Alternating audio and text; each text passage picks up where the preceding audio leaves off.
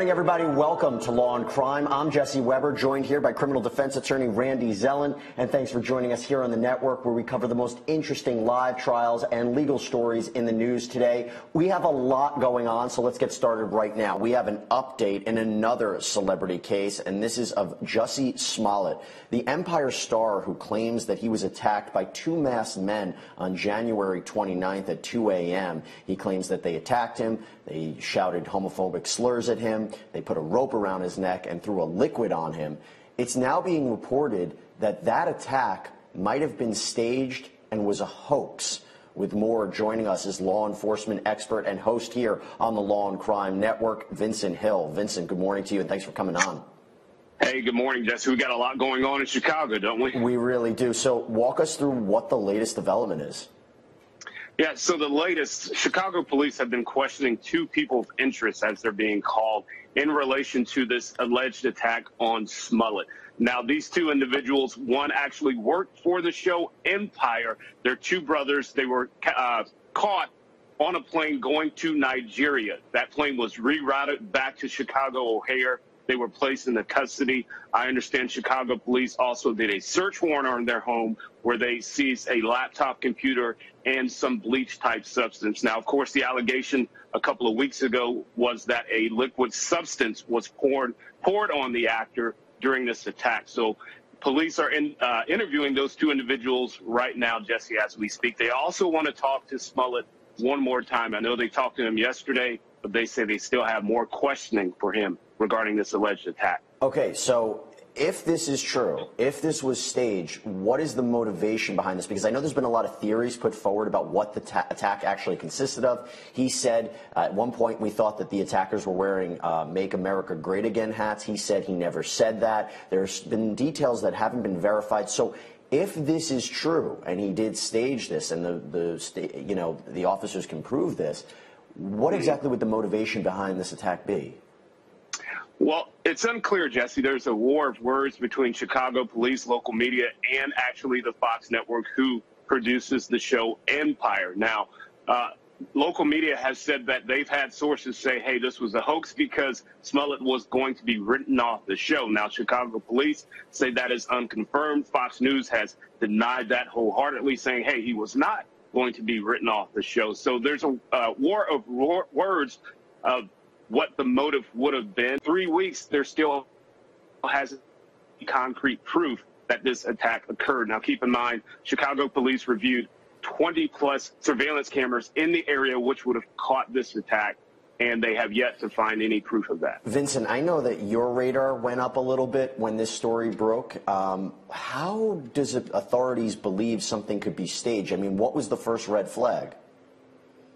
Well, I think there were many red flags, Jesse, especially me being an investigator that I am. I mean, keep in mind, this was probably the coldest night of the year in Chicago. Temperatures reached about 18 below zero.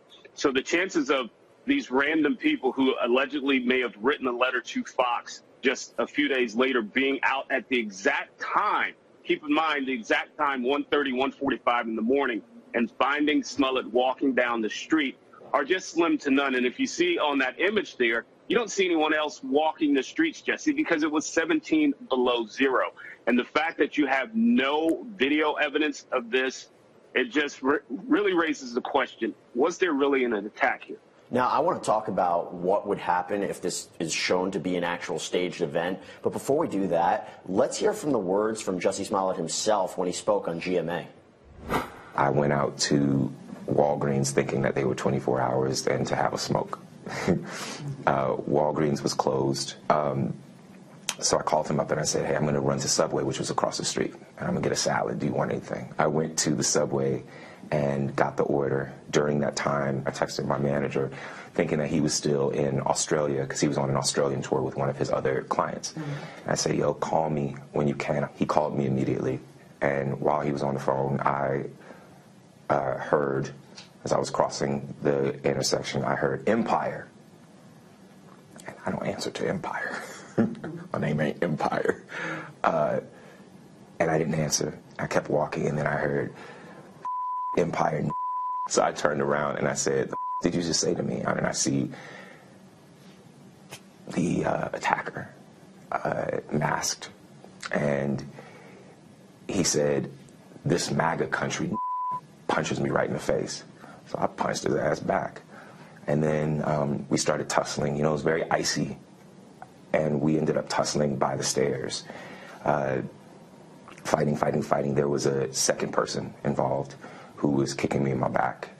And uh, then it just stopped. And they ran off. So, Vincent, this is being investigated if any of what he just said is true. Now, you walk us through this. If it's proven that he that this is a, a, a hoax, filing a false police report in Chicago, Illinois is a very serious crime, is it not? That's right, Jesse. It's actually considered a class four felony, which you could face up to three years in prison and a $25,000 fine, plus two years probation. So this is very serious. But I, I go back to the fact that there's really no evidence. Even after this alleged attack, Smollett posted a picture on his social media with a scratch over his eye which is not really consistent with being punched and, and smashed in the face. And one of the other red flags that stuck out is he said he kept this rope around his neck until police arrived. Now, keep in mind, if you were attacked and someone puts a rope around your neck, that's going to essentially strangle you, Jesse. Your first natural instinct, you're not thinking evidence, DNA, you're trying to get that rope off your neck. So there were so many things with this story that really weren't consistent with an actual attack.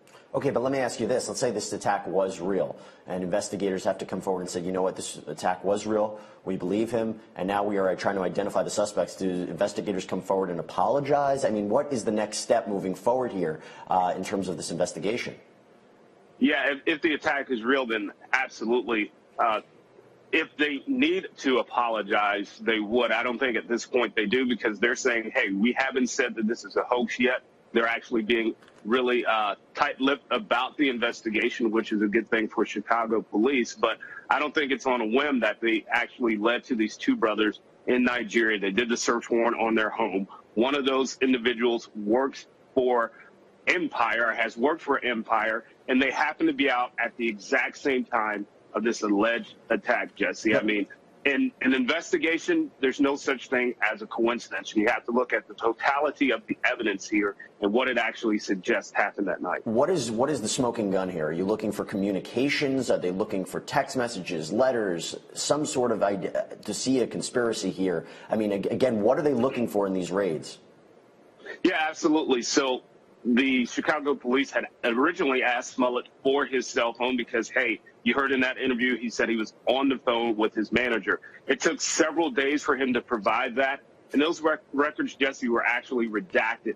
But that doesn't necessarily mean police can't get a search warrant for those records and get an unredacted copy to see if there was communication between these two brothers and Smollett just around the time of the attack. They're also still going to look at more surveillance footage to see if anything is picked up in that where maybe the three were seen prior to this attack and then going their separate ways. So this investigation is still ongoing, even though I believe it points to what we we know uh, happened versus didn't happen. The investigation is still going on.